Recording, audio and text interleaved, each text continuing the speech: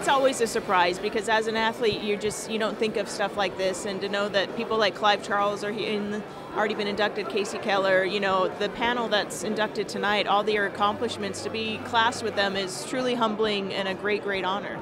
Without a doubt, my decision to attend the University of Portland and play for Clive Charles set me up to succeed, not only on the field, as you guys saw, but also off the field as a person and in life in general. And it's the best decision ever made. And what Clive, assistant coach at the time, Garrett, the athletic department, the university, what they instilled in me and helped me learn and draw out of myself were things that I, were beyond what I thought were possible. And without a doubt, I would not have had the success that I was able to have without that. Watching her play here, she cared about our team's success. If she had to put us on her shoulders and take over a game, she would do that. If she had to be the facilitator for somebody else, she would do that. She cared about the starting 11 all the way down to somebody who maybe never even got on the field. Just her passion and, and how much she cared about everybody and everything that she was involved in is, uh, I think, what sets her apart from everybody else.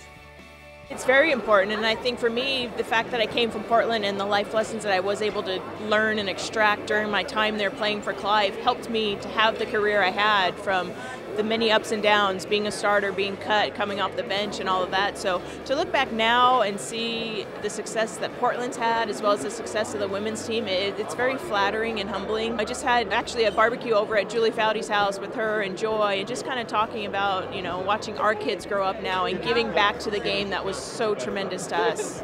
Clive just had the most unique ability to pull out something special out of each player individually as well as us as a collective group. And it's something that now as a coach I aspire to do. I think one of the big ones was take care of the little things, whether it was polishing your cleats in the locker room before you went out before a game, um, you know, being the first one off the airplane and grabbing a bag and pitching in and the, the little details as well as always believing in yourself and taking care and enjoying the moment because it's so beyond us. And he knew how to get the most out of each person individually and then as well as a collective unit.